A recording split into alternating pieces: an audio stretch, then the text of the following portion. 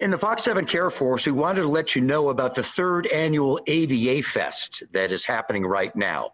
Austin Veteran Arts was created as a way to let veterans express themselves through art as a way to heal the traumas of military service. And joining us to talk about the fest is Herlinda Zamora with the City of Austin. Thanks for joining us. Yes, thank you for inviting me. You know, tell us about AVA Fest. It's going on right now. What is it for people who aren't familiar with it? Yes, it's really a way for um, veterans to express their art uh, in many different forms through theater, through art, through visual arts, through poetry, through uh, music. And with the fest right now, how can people access and go see some of this artwork? They can actually access it through the City of Austin PARD um, site because several of the cultural centers and museums actually have some uh, of the events going on virtually and in person. For example, uh, the Emma S. Mexican American Cultural Center has Dia de los Muertos on November 1st and 2nd, and they will have their altars on display through November 22nd.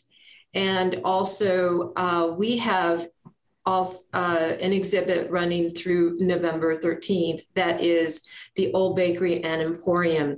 We have eight artists on display. And also, the Asian uh, Resource Center has an exhibit on display as well, running through the end of the year.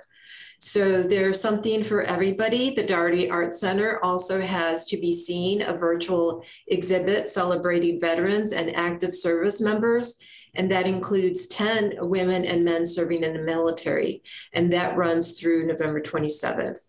So there is something for everybody to see right now. What is the best way to find out what exhibits are where and to be able to experience them? Uh, definitely go on to uh, the PARD uh, site, Parks and Rec site, and uh, find all these different locations, all the different cultural centers. Uh, also, because we're cross promoting, uh, AvaFest has a list of all of our sites as well. So we're cross promoting each other. And so you can find out where you can see these things virtually, or you can go in person and see okay. the exhibits in person. Okay, and the, the fest goes on till November 14th. We are out of time right now, but I really appreciate you taking time to talk to us about AvaFest. You bet. Okay. Thank you.